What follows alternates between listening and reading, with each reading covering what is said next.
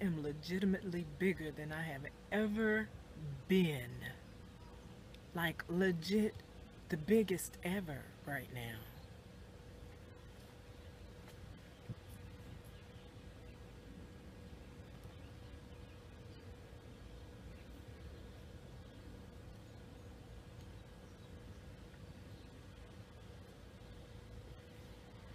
Like really fat.